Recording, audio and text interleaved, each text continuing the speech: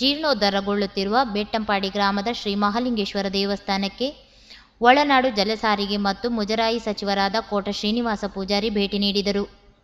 ಅಲ್ಲಿ ವಿಶೇಷ ಪೂಜೆ ಸಲ್ಲಿಸಿ ಕಾಮಗಾರಿಗಳ ವೀಕ್ಷಣೆ ಮಾಡಿದರು. ಈ ಸಂದರ್ಭದಲ್ಲಿ ಶಾಸಕಿ ಮಲ್ಲಿಕಾ ಪ್ರಸಾದ್ ಜಿಲ್ಲಾ ಪಂಚಾಯತ್ ಸದಸ್ಯೆ ಮೀನಾಕ್ಷಿ ಮಂಜುನಾಥ್, ಎಪಿಎಂಸಿ ಸದಸ್ಯ ರಂಗನಾಥ ರೈಗುತ್ತು, ತಾಲೂಕ್ ಪಂಚಾಯತ್ ಅಧ್ಯಕ್ಷ ಶಂಭು ಭಟ್ ಹಾಗೂ ಇನ್ನಿತರರು ಉಪಸ್ಥಿತರಿದ್ದರು. ಪ್ರತಿಷ್ಠಾಪನೆ ಆಗಿದೆ ಎನ್ನುವಂಥ ಒಂದು ವಿಚಾರ, ಇದರಲ್ಲಿ ಇತಿಹಾಸದ ಒಂದು ವಿಚಾರ.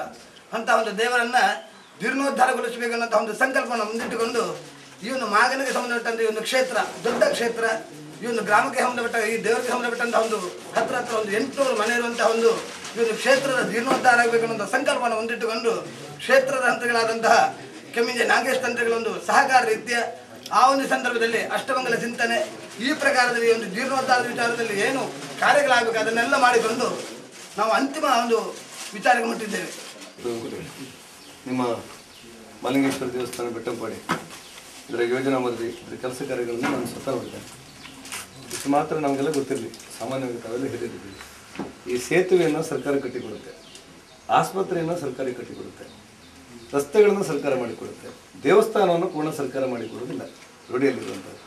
ದೇವಸ್ಥಾನ ಜನರಿಂದ ನಿರ್ಮಾಣ ಆಗಬೇಕು, ಅದಕ್ಕೆ ಸರ್ಕಾರ ಸಹಾಯಗಳನ್ನು ಮಾಡುತ್ತೆ ಅನ್ನುವಂಥದ್ದು ವಿಚಾರಗಳು. ಹಾಗಾಗಿ ಈ ದೇವಸ್ಥಾನಕ್ಕೆ ನೀವು ತುಂಬ ಕೆಲಸಗಳನ್ನು ಮಾಡಿದ್ದೀರಿ. ಪೂಜರಾಗಿರುವಂಥ ಡಾಕ್ಟ್ರು ವಿ ಲಕ್ಷ ಕೊಟ್ಟಿದ್ದಾರೆ. ನಂತರ ಎರಡೂವರೆ ಲಕ್ಷ ಬಂದಿದೆ. ಸುಮಾರು ಅರವತ್ತೆಪ್ಪತ್ತು ಲಕ್ಷ ರೂಪಾಯಿ ನಿಮ್ಗೆ ಇನ್ನೂ ಮುಂದಿನ ಕಾಮಗಾರಿಗಳಿದೆ.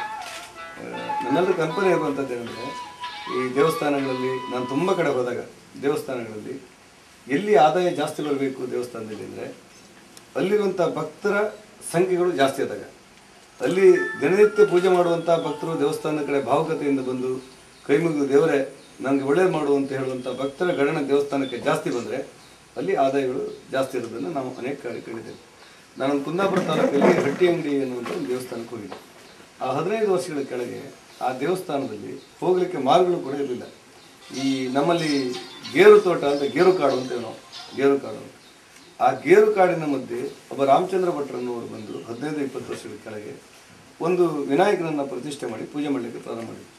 ಅವರ ಪೂಜಾ ಪ್ರಕ್ರಿಯೆ, ಅವರ ನಂಬಿಕೆ, ಅವರ ಚಟುವಟಿಕೆ, ಅವರ ಧಾರ್ಮಿಕವಾದಂಥ ವಿದ್ವತ್ತು ಇವುಗಳಿಂದಾಗಿ ಆ ದೇವಸ್ಥಾನ ಎಷ್ಟು ಬೆಳೀತು ಅಂತ ಹೇಳಿದ್ರೆ, ನಿಮ್ಮ ಬೆಂಗಳೂರಿನ ಎಂ ಟಿ ಆರ್ ಮಯ್ಯ ಇದ್ದಾರಲ್ಲ, ಅವರು ಬಂದು ಮೂರು ಕೋಟಿ ರೂಪಾಯಿದಲ್ಲಿ ಮೊನ್ನೆ ಒಂದು ಕಲಾಮಂದಿರವನ್ನು ಮಾಡಿ ಕೊಟ್ಟರು ಆನಂತರ ಮಾಡಿಕೊಟ್ಟೆ. ಅಂದರೆ ಒಬ್ಬ ಪೂಜೆ ಮಾಡುವ ಅರ್ಚಕ ರಾಮಚಂದ್ರ ಭಟ್ರ ಕ್ರಿಯಾಶೀಲತೆಯಿಂದಾಗಿ ವಿದ್ವತ್ತು, ಶಕ್ತಿ, ಅರ್ಚಕತನ, ಧಾರ್ಮಿಕ ನಂಬಿಕೆಗಳ ಪ್ರೇರಣೆ ಇವುಗಳ ಹಿನ್ನೆಲೆಯಲ್ಲಿ ಒಂದು ಕಾಡಿನ ಮಧ್ಯದಲ್ಲಿ ಬೆಳೆದಿರುವಂಥ ಒಂದು ವಿನಾಯಕ ದೇವಸ್ಥಾನ ಇಂದು ಜಗತ್ ಪ್ರಸಿದ್ಧಿ ಆಗುತ್ತೆ ಅನ್ನೋದನ್ನು ನಾವೆಲ್ಲ ಕಂಡುಕೊಂಡಿದ್ದೇವೆ. ನೀವು ಭಟ್ಕಳ ತಾಲೂಕಿನಲ್ಲಿ ಹೋದರೆ ಒಂದು ಮಾರಿಯಮ್ಮನ ಗುಡಿ ಇದೆ. ಆ ಮಾರಿಯಮ್ಮನ ಗುಡಿಯಲ್ಲಿ ಪೂಜೆ ಮಾಡುವಂಥ ನಂಬಿಕೆ ಇರುವಂಥ ವ್ಯವಸ್ಥೆಗಳನ್ನು ನೋಡಿ ನಿಮ್ಗೆ ಆಶ್ಚರ್ಯ. ಅಲ್ಲಿರುವಂಥ ಅರ್ಚಕರಿಗೆ ಅವರಿಗೆ ವೇದಾಧ್ಯಯನ ಮಾಡಿಲ್ಲ. ಗಾಯತ್ರಿ ಜಪ ಬರೋದಿಲ್ಲ. ಬಹುಶಃ ಅಕ್ಷರಾಭ್ಯಾಸ ಪೂರ್ಣ ಇದೆ ಅನ್ನುವಂಥ ಮಟ್ಟದಲ್ಲಿ ಅವರಿಲ್ಲ ಅರ್ಚಕರಿಗೆ. ಆದರೆ ಯಾರಾದರೂ ಒಬ್ಬರು ಹೋದರೆ, ಇವತ್ತು ಮಲ್ಲಿಕಕ್ಕ ಅಲ್ಲಿಗೆ ಹೋದರೆ ಆ ಅರ್ಚಕ ಹೋಗಿ ತಾನು ಪಟ್ಟೆ ಉಟ್ಟುಕೊಂಡು ಆ ದೇವಿ ಎದುರು, ಮಾರಿಯಮ್ಮನ ಎದುರು ಹೋಗಿ ನಿಲ್ತಾನೆ. ಅವನು ಮೀನುಗಾರಿಕೆ ಸಮುದಾಯದವನು ಕೆಲವರದ್ದು ನನಗೆ ನಿಂತು, ತಾಯಿ ಮಾರಿಕಾಂಬೆ ನಮ್ಮ ಮಲ್ಲಿಕಕ್ಕ ಬಂದಿದ್ದಾರೆ ಎಂ ಎಂ ಎಲ್ ಎ ಅವರು. ಅವರು ನಿನ್ನ ಮೊರೆ ಹೋಗಿದ್ದಾರೆ ತಾಯಿ ಅನ್ನುವಂಥ ಭಾವುಕತೆಯ ಪ್ರಾರ್ಥನೆ ಇದೆಯಲ್ಲ, ನಮ್ಮ ಮೈ ರೋಮಾಂಚನಗೊಳಿಸ್ಬಿಡುತ್ತೆ. ಅಂದರೆ ಇಡೀ ದೇವಸ್ಥಾನದಲ್ಲಿ ಉತ್ಪಾದನೆಗಳು ಜಾಸ್ತಿಯಾಗಿ, ಆ ಧಾರ್ಮಿಕ ನಂಬಿಕೆಗಳು ಹೆಚ್ಚಿ, ಅಲ್ಲಿರುವಂಥ ಭಾವುಕ ಭಕ್ತರನ್ನು ಕೈವೀಸಿ ಕರೆಯುತ್ತೆ. ರಾಜ್ಯ, ಬೇರೆ ರಾಜ್ಯ, ದೇಶ ವಿದೇಶಗಳಿಂದ ಅಲ್ಲಿ ಭಕ್ತರು ಬರ್ತಾರೆ. ಅಲ್ಲಿರುವಂಥ ನಂಬಿಕೆಗಳು ನೋಡಿ ನಮಗೆ ಹೀಗೆ ಧಾರ್ಮಿಕ ಕ್ಷೇತ್ರಗಳಲ್ಲಿ ನಂಬಿಕೆಗಳ ಬಲಗೊಳ್ಳುವಿಕೆಯಿಂದಾಗಿ ಮತ್ತು ಸಾರ್ವಜನಿಕರ ಸಹಭಾಗಿತ್ವದಿಂದಾಗಿ ಆ ದೇವಸ್ಥಾನದ ಅತಿ ಒಂದು ಜೀರ್ಣೋದ್ಧಾರ ಆಗಲಿಕ್ಕೆ ಅವಕಾಶವಾಗುತ್ತೆ. ನಾನು ತಾವೆಲ್ಲ ಹಿರಿಯರಿದ್ದೀನಿ ನಾನು ವಿನಂತಿ ಇದೆ ನಿಮ್ಮಲ್ಲಿ. ಈ ದೇವಸ್ಥಾನಕ್ಕೆ ಸಂಬಂಧಪಟ್ಟಂಥ ಎಂಟುನೂರು ಮನೆಯವರಿಂದ ಕನಿಷ್ಠ ಹತ್ತು ರೂಪಾಯಿ ಆದರೂ ಬರುವಂಥ ಒಂದು ಯೋಜನೆ ಬೇಕು ನಮಗೆ.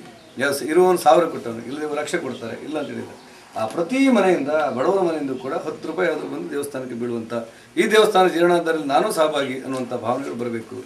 ಜಾತಿ, ಮತ ಎಲ್ಲವನ್ನು ಮೀರಿ ಹಿಂದೂ ಧರ್ಮದ ಸಮಸ್ತ ಹೃದಯದ ದೇಗುಲವಾಗಿ ಒಂದೊಂದು ದೇವಾಲಯಗಳು ನಿರ್ಮಾಣ ಆಗಬೇಕು ಅನ್ನುವಂಥ ಸರ್ಕಾರದ ಇಂಗಿತ. ಇಂಥ ದೇವಾಲಯಗಳು ನಮ್ಮಲ್ಲಿ ಕರ್ನಾಟಕ ರಾಜ್ಯದಲ್ಲಿ ಮೂವತ್ತ್ನಾಲ್ಕು ಸಾವಿರದ ಇನ್ನೂರ ಅರವತ್ತಾರಿದೆ ಇಂಥ ದೇವಾಲಯಗಳ ಸಂಖ್ಯೆ. ಇನ್ನು ಬರ್ತವೆ ನಮ್ಮಲ್ಲಿ. ಒಂದು ದೇವಸ್ಥಾನವನ್ನು ಕೂಡ ನಮ್ಮ ಸರ್ಕಾರ ಮಾಡಿದ್ದಲ್ಲ. ಯಾರ್ಯಾರೋ ಭಾವುಕ ಭಕ್ತರು, ನಂಬಿಕೆ ಇರುವವರು ಈ ಮಕ್ಕಳನ್ನು ನಾವು ಒಂದು ಆ ಕಾಲದಲ್ಲಿ ಒಂದು ದೇವಸ್ಥಾನವನ್ನೇ ಮಾಡ್ತಾರೆ. ಮಕ್ಕಳ ಮಕ್ಕಳಾದ್ರೆ ಆ ದೇವಸ್ಥಾನವನ್ನು ಮಾಡ್ತೇನೆ ಅನ್ನುವಂಥ ನಂಬಿಕೆ ಇರುವವರು ರಾಜ ಮಹಾರಾಜರು ದಂಡನಾಯಕರು ಹೀಗೆ ಹರಕೆ ಹೇಳ್ಕೊಂಡು ಅನೇಕರು ಮಾಡಿದಂಥ ದೇವಸ್ಥಾನಗಳನ್ನು ನಾವಿವತ್ತು ನಮ್ಮ ಇಲಾಖೆ ಮೂಲಕ ಅದನ್ನು ಯಾಕೆ ತಗೊಂಡಿದ್ದೇವೆ ಅಂತ ಹೇಳಿದರೆ, ಆ ದೇವಸ್ಥಾನದಲ್ಲಿ ಸಾಮಾಜಿಕ ನ್ಯಾಯ ಇರಬೇಕು, ಎಲ್ಲ ಹಿಂದೂಗಳು ಕೂಡ ಮುಕ್ತವಾಗಿ ಪೂಜೆ ಮಾಡಬೇಕು ಅನ್ನೋ ಕಾರಣಕ್ಕೋಸ್ಕರ ಇವತ್ತು ಈ ಕೆಲಸಗಳನ್ನು ಮಾಡ್ತಾ ಮಾಡ್ತಾ ಇದ್ದೇವೆ. ನೀವು ನಾಲ್ಕಾರು ವರ್ಷಗಳ ಕೆಳಗೆ, ನಾನು ಯಾರನ್ನೂ ದೂರ್ಲಿಕ್ಕೆ ಹೇಳಿದ್ದಲ್ಲ, ಯಾವುದಾದ್ರೂ ಒಂದು ದೇವಸ್ಥಾನಕ್ಕೆ ಐವತ್ತು ಸಾವಿರ ರೂಪಾಯಿ ಬಂದದ್ದನ್ನು ನಾನು ನೋಡಿಲ್ಲ. ನನ್ನೂರಿನಲ್ಲಿ, ನನ್ನ ಜಿಲ್ಲೆಯಲ್ಲಿ ನಾನು ನೋಡಿಲ್ಲ. ಇವತ್ತಿನ ಪರಿಸ್ಥಿತಿಯಲ್ಲಿ ಅದರಷ್ಟಕ್ಕೆ ಯಡಿಯೂರಪ್ಪನವರು ಮುಖ್ಯಮಂತ್ರಿ ಆದ ನಂತರ ಅವರಲ್ಲಿರುವಂಥ ದೇವನಾಯಿಗಳ ನಂಬಿಕೆಗಳಿಗೆ ಕೋಟಿ, ಲಕ್ಷಗಳನ್ನು ಬಿಡುಗಡೆ ಮಾಡ್ತಾ ಮುಂದುವರಿದರು. ಅದೇ ಹಂತದಲ್ಲಿ ಇವತ್ತು ನಾವೆಲ್ಲರೂ ಕೂಡ ನಮ್ಮ ಮಿತಿ ಮಿತಿಯೊಳಗೆ ಕೆಲಸಗಳನ್ನು ಮಾಡ್ತಾ ಇದ್ದೇವೆ. ನಿಮ್ಮೆಲ್ಲರ ಆಶೀರ್ವಾದದಿಂದ ನನಗೆ ಮುಜರಾಯಿ ಮಂತ್ರಿ ಆಗುವಂಥ ಅವಕಾಶಗಳು ಸಿಕ್ಕಿದೆ. ನಾನು ಮಂತ್ರಿ ಪದವಿ ಕೇಳಿದಲ್ಲ ಸಿಕ್ಕಿದೆ. ಈ ಹಿನ್ನೆಲೆಯಲ್ಲಿ ದೇವಸ್ಥಾನಗಳಲ್ಲಿ ಜೀರ್ಣೋದ್ಧಾರ ಮಾಡುವಂಥದ್ದನ್ನು ಆ ದೇವಸ್ಥಾನದ ಚಟುವಟಿಕೆ ಮಾಡುವಂಥದ್ದು ವ್ಯವಸ್ಥಾಪನ ಸಮಿತಿ, ಅನೇಕ ಹಿರಿಯರನ್ನು ಈ ದೇವಸ್ಥಾನವನ್ನು ಪೂಜೆ ಮಾಡಿ, ಪುರಸ್ಕಾರ ಮಾಡಿದಂಥ ಅನೇಕ ಹಿರಿಯರು, ನಾವು ಮರ್ತೇ ಬಿಟ್ಟಿದ್ದೇವೆ ಅವ್ರನ್ನ. ಯಾರೋ ಒಬ್ಬರು ಭಟ್ರು ಆ ದೇವಸ್ಥಾನ ಕೂಡ ಬದುಕನ್ನೇ ಸಮರ್ಪಣೆ ಮಾಡಿದವರಿದ್ದಾರೆ ಅವರಿಗೆ ನಾವು ಯಾವುದೇ ಒಂದು ಕಾರ್ಯಕ್ರಮಕ್ಕೆ ಕರೆದಿರುವಂಥ ಸ್ಥಿತಿಗಳು ಅನೇಕ ದೇವಾಲಯ ನಿರ್ಮಾಣ ಆಗಿದೆ ಹಾಗೆ ಅಲ್ಲಿ ಏನೇನು ತಪ್ಪುಗಳಾಗಿದೆ ಅದನ್ನೆಲ್ಲ ಸರಿಪಡಿಸಿಕೊಂಡು ಒಂದು ದೇವಸ್ಥಾನವನ್ನು ಒಂದು ಸಾಮಾಜಿಕ ಕೇಂದ್ರಗಳಾಗಿ ಮಾಡಬೇಕು ಅನ್ನೋ ಸರ್ಕಾರದ ಇಂಗಿತವನ್ನು ಅನುಷ್ಠಾನ ಮಾಡುವಂಥ ಸಚಿವನಾಗಿ ನಾನು ಕೆಲಸ ಮಾಡುವಂಥ ಹೊಣೆಗಾರಿಕೆಯಲ್ಲಿ ನಾನಿದ್ದೇನೆ. ಅಂತ ಯೋಜನೆ